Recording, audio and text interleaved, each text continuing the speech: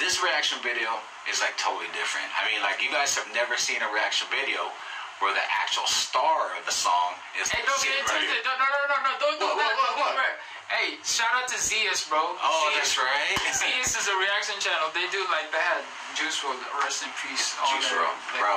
Rest in peace to. Juice WRLD. And then yeah, Zeus is a reaction channel, and they Man. get the, the artists on there too. so- Yeah. But this is exciting because we're gonna because so many people are like talking about this song, like what does this mean? What does that mean? So, You know what? Just to clear things up. From, Yeah. So, So he's here. He's gonna clear all of this stuff up, and it's gonna be fun. Mm. Start it. Let's go. all right, all right. Let's go. Let's go. Let's go. On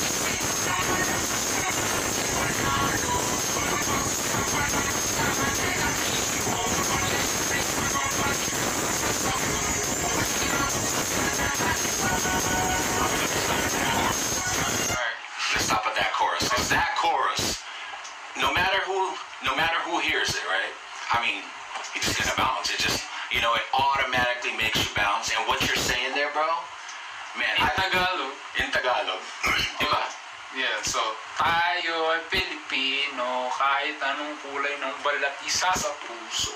So that means um tayo ay Pilipino kahit anong kulay ng balat isa sa puso.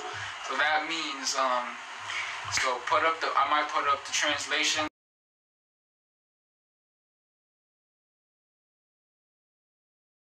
Seen a reaction video where the actual star of the song is Hey, don't sitting get right twisted. here. No, no, no, no, no. Don't do What, that. what, what, Don't what?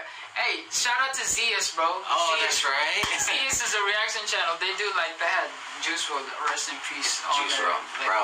Rest in I remember peace to. Juice WRLD. And then yeah, Zeus is a reaction channel, and they Man. get the, the artists on there too. so- Yeah. But this is exciting because we're gonna because so many people are like talking about this song, like what does this mean? What does that mean? You know what? Just to clear things up. From, Yeah. So, So he's here, he's gonna clear all of this stuff up and it's gonna be fun. Mm. Start it, let's go. all right, all right. Let's go. Let's go. Let's go. On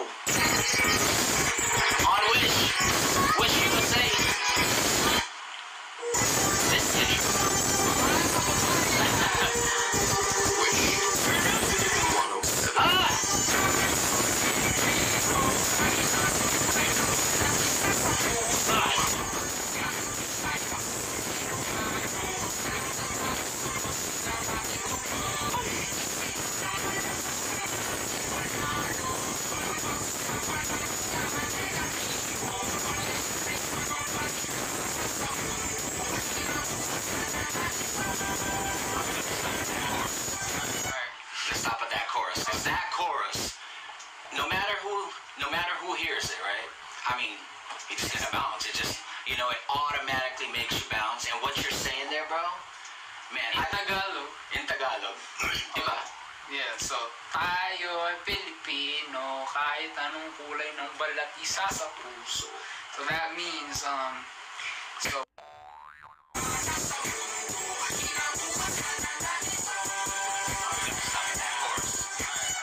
Let's stop at that chorus. Cause that chorus, no matter who, no matter who hears it, right? I mean, it's just gonna bounce. It just, you know, it automatically makes you bounce. And what you're saying there, bro, man, In I, Tagalog. in Tagalog, diba?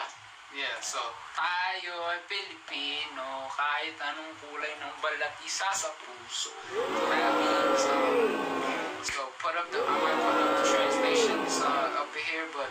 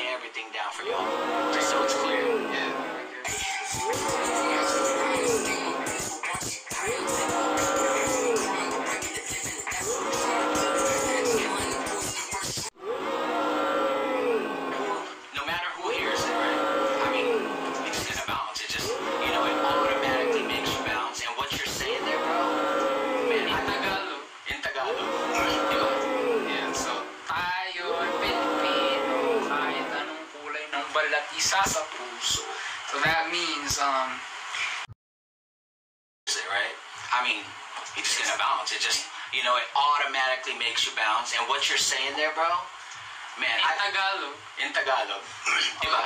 yeah, so tayo ay Pilipino kahit anong kulay ng balat isa sa puso.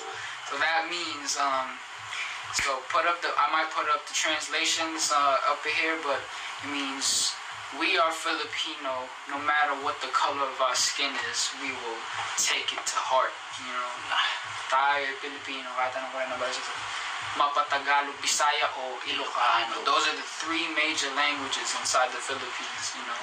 So, of course, generally it's Filipino as like the main language of Tagalog, but then those are like the three main ones, the biggest ones, like, you know. So, I didn't mean to leave any other dialects or like languages inside the Philippines. Yeah, but just wait. just wait. Hey, hey go ahead, go ahead. But yeah, I didn't mean to leave anybody out, but that was like the initial thought because you know Tagalog, Bisaya, and Ilocano, Mhm. three biggest um, peoples back in the Philippines. So By the way, shout out to Manny Pacquiao right here. hey, you know, Let's go.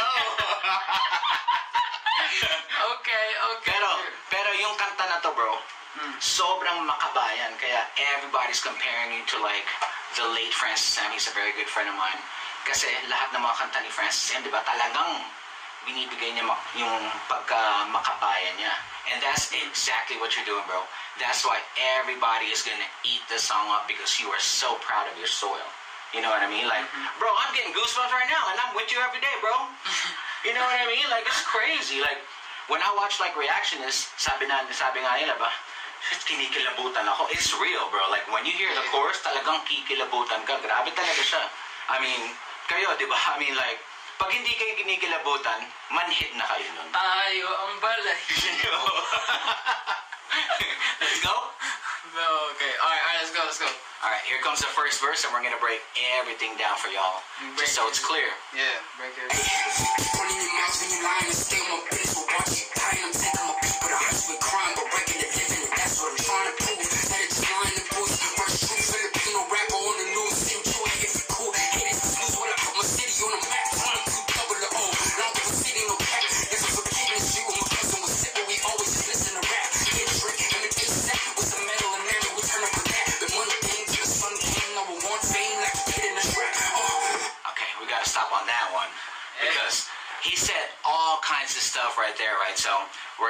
him break it down, and so just so you guys know, because like you know, not a lot of people, because he said like crippin' and all that stuff. So, Yeah, like just to clear it all. Um, what was the first thing? so are you a gangster or something? I mean, not not necessarily fully like you know jumped into an actual gang, but just you know that was I had a homie from back then when I was in Pangasinan, and like you know actually like the like that actual involvement was just me hanging out with them. It was like I was partially living.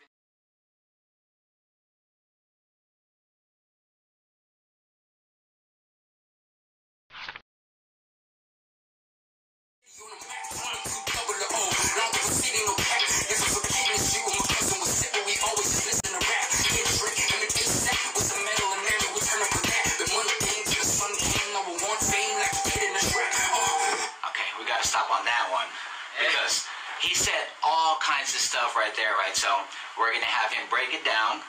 And so, just so you guys know, because like you know, not a lot of people, because he said like crippin' and all that stuff. So, Yeah, like just to clear it all. Um, what was the first thing? so are you a gangster or something?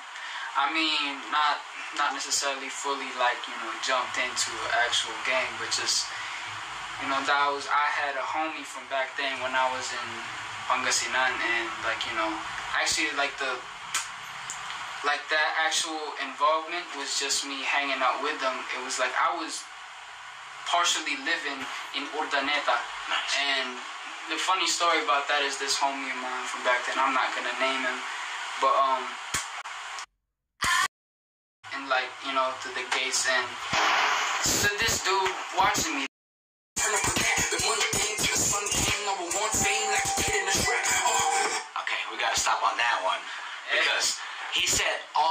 kinds of stuff right there, right? So we're gonna have him break it down, and so just so you guys know, because like you know, not a lot of people, because he said like crippin' and all that stuff. So, yeah like just to clear it all um what was the first thing so are you a gangster or something? I mean not not necessarily fully like you know jumped into an actual gang but just you know that was I had a homie from back then when I was in Pangasinan and like you know actually like the like that actual involvement was just me hanging out with them. It was like I was partially living in Urdaneta. Nice. and the funny story about that is this homie of mine from back then, I'm not gonna name it, front of my house and like, you know, to the gates. And so this dude watching me, like he walked up to the gate watching me. And then all of my other friends at the time, they ran to like the backyard of the house because there was like and then I was wondering, yo, why are y'all all like all that you left me here skating all alone and there was like, come here bro, that guy's a criminal and I was like, huh? Like I was like, I, I, I don't know. I didn't I didn't react to it in a way where I was like, a criminal. I mean, he's just watching. Right, You know, like right. and um he was just watching and he asked a question like you know, like in Tagalog, ginagawa mo din tol?" Uh, oh, and I approached him like, like literally sincerely, like just being talking to him like a normal person. Oh, I'm just skateboarding, boys, you know. Showed him a trick or two, and he was like, I don't know what I noticed about him, but I think like because being in, it's in a province in the Philippines called Yeah. Pangasinan, and like I don't know how dude has been living, but I feel like he's been there living like you know in the gutter and like in an archaic type of life. So did I don't know if skateboarding to him was like a first to see, but that's like what I felt like you know he was curious about what the hell I was doing because. So I let him in the gate. I let him in the gate, and I was like, I was showing him something. He tried to roll on it because just like, out of curiosity, and he was like, just, just really like weirded out with the fact that like you know the the the board was just like you know too slippery to handle. And like you know, and I don't know that probably struck a curious chord. And he, after that, he would come often, and then here's like the weirdest thing where I feel like I got semi jumped in, or not even, probably just I don't know, bro. Like, I one day he brought his bag with him and told me like. Merong skate park sa outskirts ng he didn't say outskirts, but like sa labas, like there's a skate park in the outskirts of the city. Um, he's, there's a skate park in the outskirts of the city, and um, it's in an abandoned restaurant. And my grandma thought I was crazy to believe this guy, like you know, but I don't know. I would think it. I mean,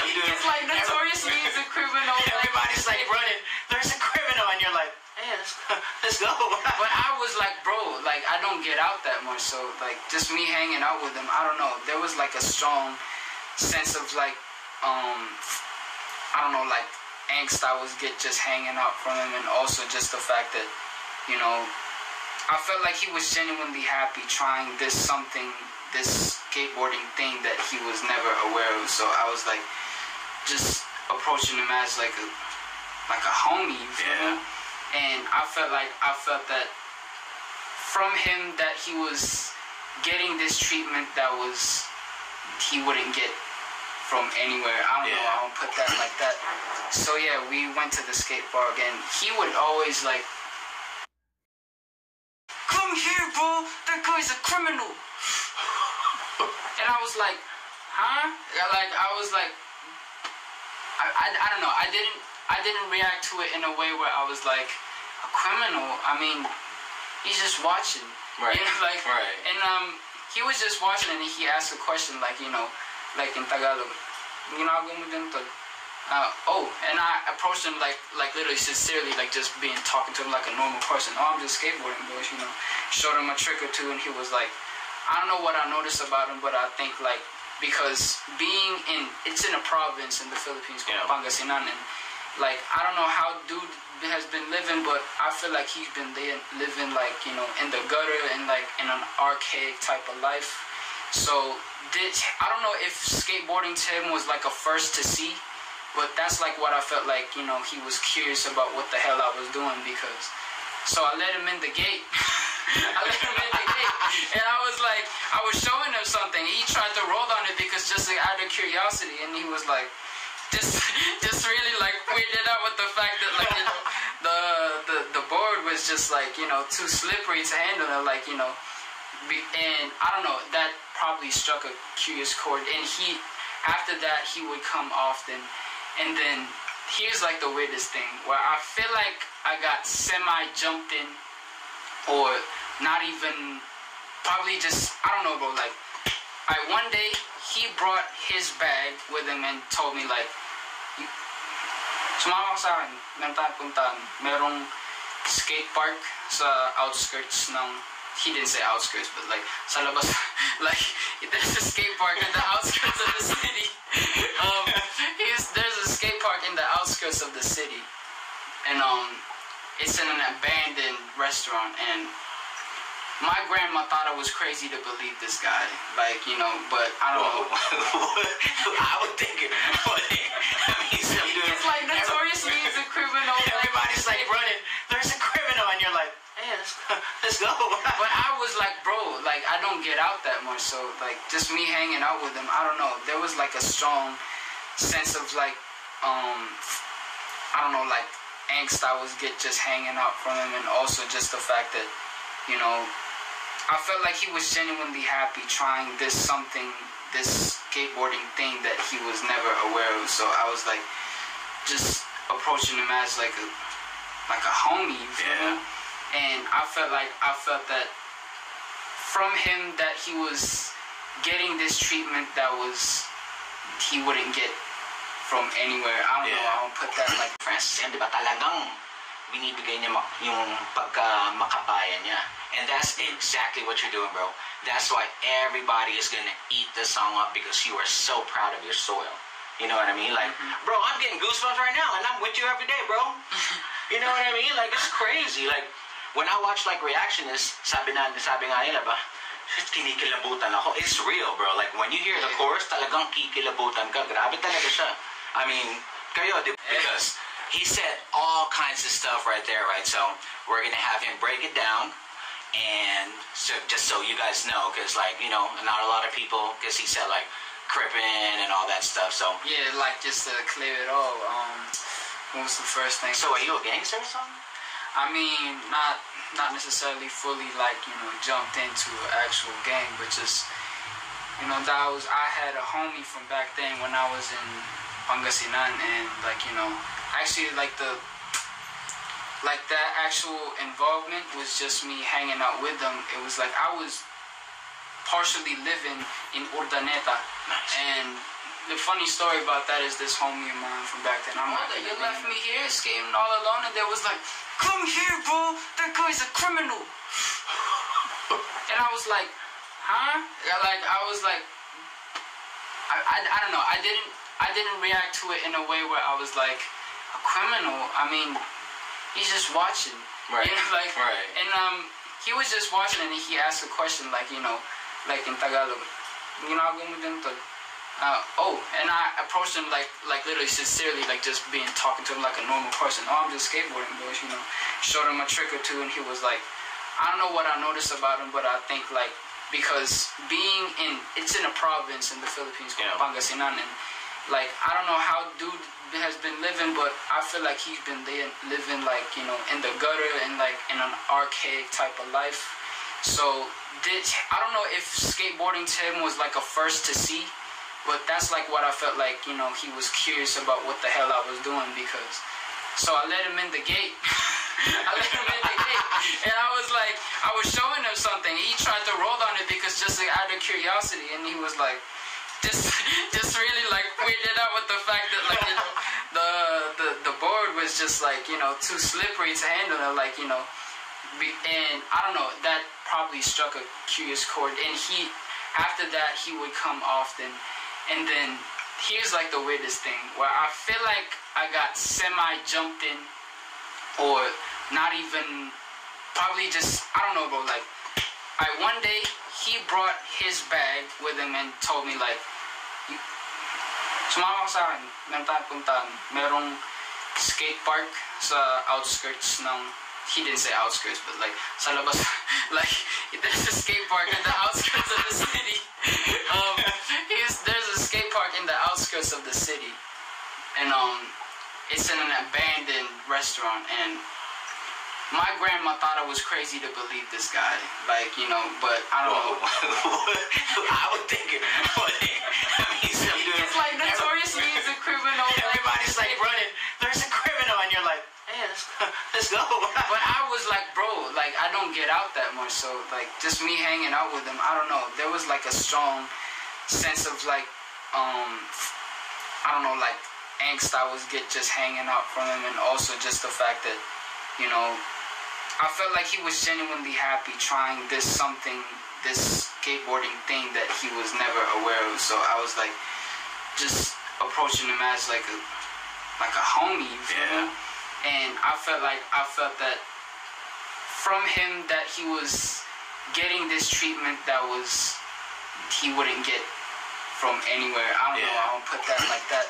So yeah, we went to the. That's the main Main uh, ride. Main, Main ride. transportation. Main, main transportation for the Philippines. So I got on the jeepney with him to the skate park, and he wore this blue rag all the time. When he, Mm. whenever he's like, you know, trying to get out somewhere, like, you know. And then we got to the place, and we just like about 50 motherfuckers that are like kind of like the same the same vibe as him and like everybody's like that look what's up bro and then that's like kind of like some of them were skaters and I literally taught him how to shove it inside of the fucking like abandoned restaurant skate Right. and like I don't know. Some sometimes they would tell me to hide because some people are like coming through, and I would have my skateboard just ready like this. What the fuck is going on?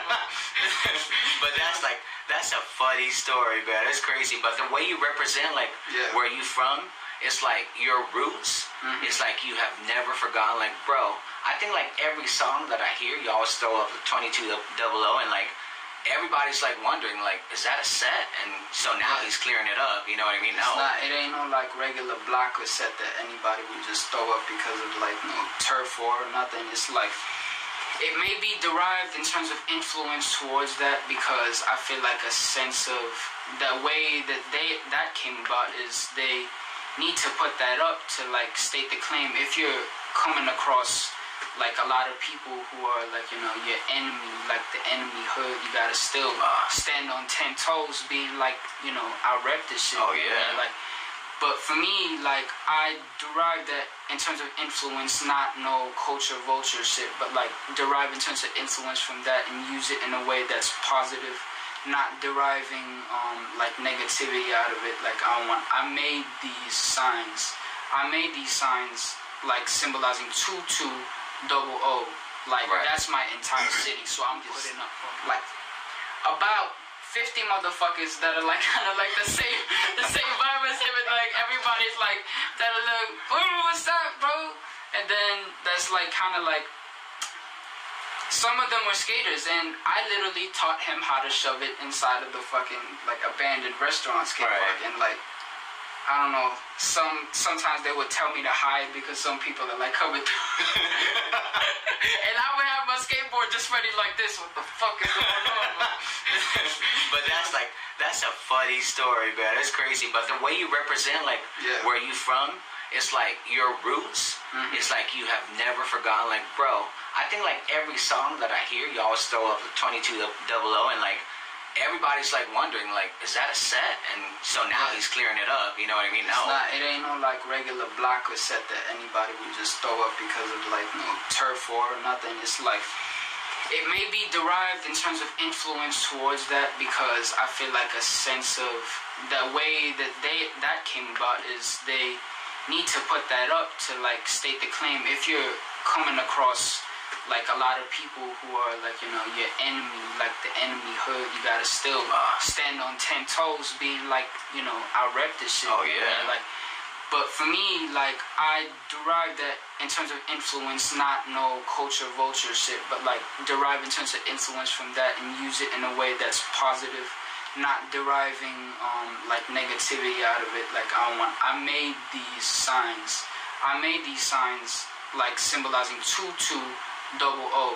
Like Right. that's my entire city. So I'm putting up for my entire city. You feel me? Man, Olongapo, be proud. And also, you brought you brought up like Kendrick and then ASAP and ASAP. So I'm, I'm assuming that's like your main. I mean, like you guys can't deny, anyways. This dude right here, when he spits, bro. I mean, like everybody's saying it. I mean, I'll, I'll be like the first one to say, man, he's got songs, bro, that like.